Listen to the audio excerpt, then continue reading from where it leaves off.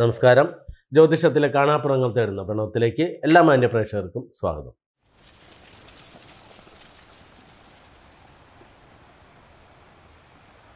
ഇന്ന് നമ്മൾ പറയുന്നത് പ്രണവമലയിൽ ചാമുണ്ഡി ദേവിയെ എന്തുകൊണ്ട് കുടിയിരുത്തിയില്ല? അതിലേക്കാണ് പ്രോഗ്രാം വരുന്നത്. കമന്റിൽ കുറച്ച് ദിവസങ്ങളായിട്ടാണ് ഇങ്ങനെ ഒരു ചോദ്യം ചോദിച്ചുകൊണ്ടിരിക്കുന്നു.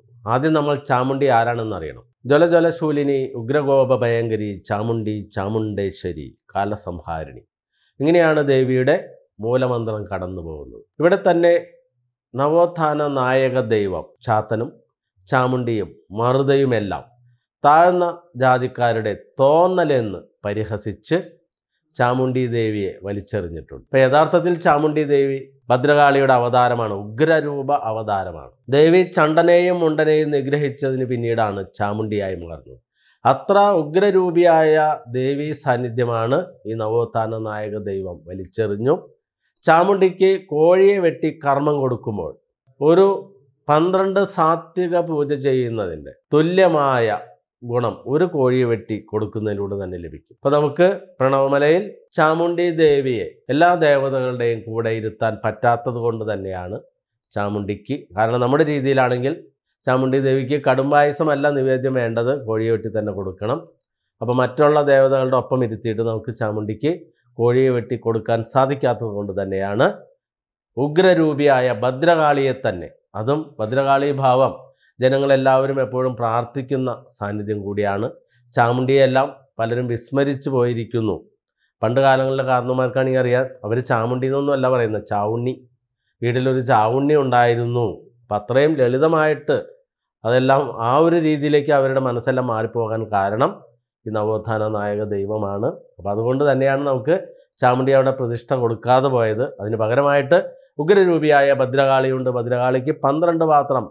വലിയ ഗുരുതി വാദ്യമേളങ്ങളോടുകൂടി തർപ്പണം നടത്തുമ്പോൾ നിങ്ങൾക്ക് ഈ താമസ പൂജയേക്കാൾ വലിയ ഗുണം ലഭിക്കും. ഇനിയുള്ള കാലങ്ങളിലെല്ലാം നമ്മുടെ പ്രണവമലയിലെ ക്ഷേത്ര സങ്കേതത്തിൽ വന്ന് ചെറിയ ചെറിയ വഴിപാടുകൾ നടത്തുമ്പോൾ പോലും ജീവിതത്തിലുണ്ടാകുന്ന വലിയ മാറ്റങ്ങൾ അതെല്ലാം ഒരിക്കൽ അനുഭവിച്ചവർ വിദേശങ്ങളിലുള്ളവരാണ് ഏറ്റവും കൂടുതൽ ദക്ഷിണ സമർപ്പിച്ചുള്ള പൂജകളും ഹോമക്രിയാദികളും ചുറ്റുവിളക്കുകളും എല്ലാം നടത്തിക്കൊണ്ടിരിക്കുന്നത് വിദേശങ്ങളിൽ നിന്നാണ്. കാരണം അവർ പറയുന്നത് ഇത്രയും കാലമായിട്ട് അനേകർക്ക് വേണ്ടി അനേകായിരങ്ങൾ ചെലവഴിച്ചിട്ട് ഒരു പ്രയോജനവും പ്രത്യേകിച്ച് ഒരു ക്ഷേത്രങ്ങളിൽ നിന്ന് ലഭിക്കാതിരിക്കുമ്പോൾ ഇവിടെ ചിലവാക്കുന്ന ചെറിയ എമൗണ്ടിന് പോലും വലിയ ഗുണങ്ങൾ ബിസിനസ് അഭിവൃദ്ധികൾ മനസ്സമാധാനം രോഗദുരിതത്തിൽ നിന്നുള്ള വിടുതൽ ഇങ്ങനെ ഒരുപാട് ഒരുപാട് ആനുകൂല്യങ്ങൾ അവർ നേടിക്കൊണ്ടിരിക്കുന്നത് കൊണ്ട് തന്നെ നമ്മുടെ ക്ഷേത്ര സമുച്ചയത്തിൽ നിറയെ നിറയെ വഴിപാടുകൾ ഏറ്റവും കൂടുതൽ വിദേശങ്ങളിൽ നിന്നുള്ള വഴിപാടുകളാണ് നടന്നുകൊണ്ടിരിക്കുന്നത്. അതിന്റെ കാരണം തന്നെ നമുക്കൊരാൾ വിദേശത്തേക്ക് പോകണമെന്നൊരു ആഗ്രഹം വരുന്നത് തന്നെ ജീവിതത്തിൽ വിജയം നേടണമെന്നുള്ള ഏറ്റവും വലിയ ആഗ്രഹമുള്ളവരാണ്. അവരായിരിക്കും എപ്പോഴും അന്വേഷിച്ചു കൊണ്ടിരിക്കുന്നത് മറിച്ച് മണ്ടശിരോമണികളാണെങ്കിൽ എന്തു പറഞ്ഞാലും അനുസരിക്കാൻ തയ്യാറാവുകയില്ല.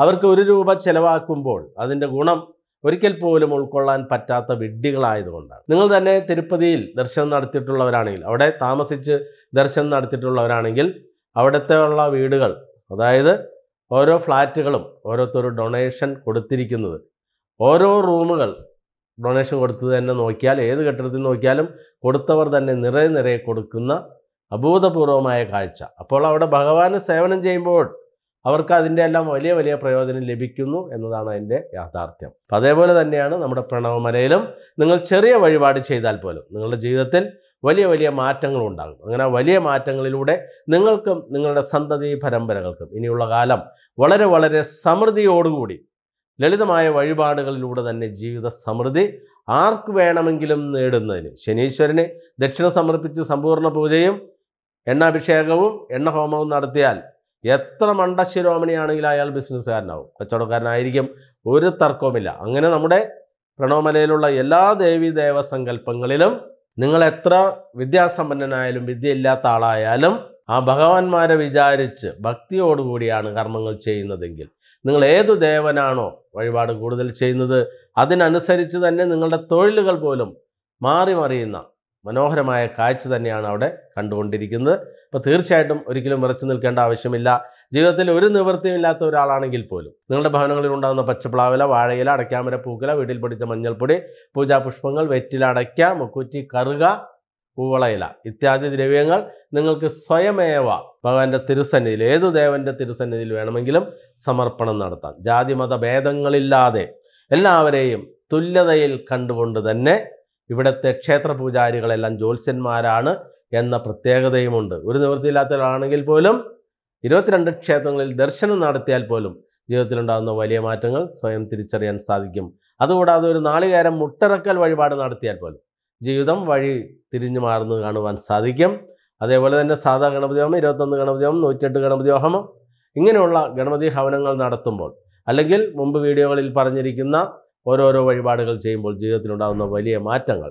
ആ മാറ്റങ്ങൾ ഉൾക്കൊണ്ടുകൊണ്ട് തന്നെ ഇനിയുള്ള കാലഘട്ടം ഓരോരുത്തർക്കും ജീവിത സമൃദ്ധിയിലേക്ക് കുതിച്ചു പായുവാൻ സാധിക്കും. അതിനുവേണ്ടി തന്നെയാണ് ഈ പുണ്യഭൂമിയിൽ ഇത്രയധികം ക്ഷേത്ര സങ്കേതങ്ങൾ നിർമ്മിച്ചിരിക്കുന്നത്. ജ്യോതിഷ വഴികളുടെ സത്യവും അതേപോലെ ക്ഷേത്ര ദർശനത്തിന്റെ പുണ്യവും തിരിച്ചറിയണമെന്നുള്ളവർക്ക് ഒരിക്കലെങ്കിലും ഈ പുണ്യഭൂമിയിൽ ദർശനം നടത്തിയാൽ തന്നെ യാഥാർത്ഥ്യങ്ങൾ ഉൾക്കൊള്ളുവാൻ സാധിക്കും. അതുകൂടാതെ നിങ്ങൾക്കും ഈ മഹാശാസ്ത്രം പഠിച്ചെടുക്കാം. സമൂഹത്തിൽ ജ്യോതിഷത്തിലൂടെ നടന്നുകൊണ്ടിരിക്കുന്ന എല്ലാ തട്ടിപ്പുകളും ഒഴിവാക്കുന്നതിന് ജനങ്ങളെ പരമാവധി വെളിച്ചത്തിലേക്ക് നയിക്കുന്നതിന് സേവനം നടത്തുന്നതിന് ഈ മഹാശാസ്ത്രം പഠിച്ചെടുക്കുന്നതിന് ഓൺലൈൻ പുതിയ ക്ലാസ്സുകൾ ഉടൻ ആരംഭിക്കുന്നുണ്ട്. താല്പര്യമുള്ളവർ പേരുകൾ രജിസ്റ്റർ ചെയ്യുക. അതേപോലെ നമ്മുടെ ശിഷ്യന്മാർ ശിഷ്യകൾ കേരളത്തിൽ അങ്ങോളം ഇങ്ങോളം പ്രശ്നനോട്ടം ആരംഭിച്ചിട്ടുണ്ട്. അവരിലൂടെ നിങ്ങൾക്ക് ഇവിടുത്തെ എല്ലാ സേവനങ്ങളും പ്രയോജനപ്പെടുത്തുവാൻ സാധിക്കും.